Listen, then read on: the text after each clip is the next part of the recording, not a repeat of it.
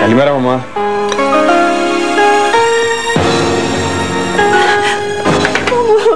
Τι θέλεις εσύ εδώ, αγάπη μου. Ήρθα χθες βράδυ πολύ αργά. Μου άνοιξε ο θείος Βασίλης. Εσύ κοιμόσουνα και δεν τον άφησα να σε ξυπνήσει για να σου κάνω έκπληξη σήμερα το πρωί. Και μου έκανες τη μεγαλύτερη έκπληξη της ζωής μου. Μου έλειψες αφάνταστα, αγόρι μου. Για να σε δω, για να σε δω. Μου φαίνεται πως αδυνάτησες λιγάκι, ε.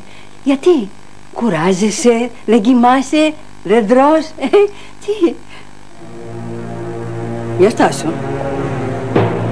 Γιατί κατέβηκες στην Αθήνα; Γιατί άφησες το πανεπιστήμιο; Γιατί είσαι εδώ; Για ποια μυστική αποστολή και για ποια αστυνομικό μιλάτε, αρχηγέ; Και ποιος είναι ο κίνδυνος που την απειλεί, αρχηγέ. Κύριε, αφήστε με πρώτα να σας εξηγήσω την υπόθεση και μετά θα καταλάβετε μόνοι σας πώς έχουν τα πράγματα. Δυστυχώς, κύριε, το τέλος αυτού του αιώνα που ζούμε, του σκληρού και δύσκολου και που σε τρεις μήνες περίπου θα τον αποχαιρετήσουμε, σφραγίζεται από ένα ακόμη αποτρόπαιο έγκλημα. Για ποιο έγκλημα μιλάτε; Μιλάω για το έγκλημα της εκμετάλλευσης ανθρώπου από άνθρωπο, κύριε Ταξιάρχε. Στην πιο εσχρή, στην πιο βάβαρη μορφή του. Μιλάω για την πρόθεση στην πορνεία μικρών ανήλικων κοριτσιών δια της βίας. Που όταν αντιστέκονται καταλήγουν συνήθως στο τραπέζι του νεκροτομείου. Ναι, ναι, αρχηγέ μου, ξέρω. Κατά καιρούς έχουμε συλλάβει διάφορα τέτοια τομάρια που εκδίδουν νεαρά κοριτσιά. Αυτοί είναι ψιλικατζίδε, Θεοχάρη. Εγώ αυτή τη στιγμή σας μιλάω ίσως για το πιο μεγάλο, το πιο οργανωμένο δίκτυο αυτού του φόρου εγκλήματος. Ένα βρώμικο δίκτυο που έχει απλώσει τα δίχτυα του σε όλη σχεδόν την Ανατολική Ευρώπη.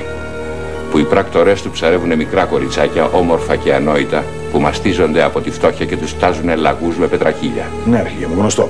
Γνωστότατο. Υποσχέσει. Υποσχέσεις για δίθεν μεγάλη καλλιτεχνική καριέρα. Τηλεόραση, κινηματογράφος, τραγούδι, μεγάλος μισθός, δόξα, τιμή. Ε, και αυτά τα κακόμοιρα. Μπροστά στη μαύρη πείνα που τα δέρνει είναι έτοιμα να πιστέψουν τα πάντα. Ακριβώς έτσι είναι. Και αφού τους φουσκώνουν το μυαλό με παραμύθια, τα στέλνουν μετά εδώ και τα στείλουν απέναντι στη σκληρή πραγματικότητα.